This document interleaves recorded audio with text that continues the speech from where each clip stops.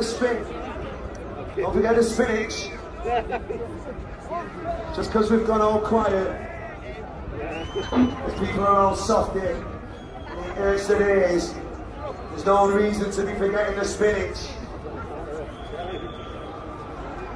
Yeah.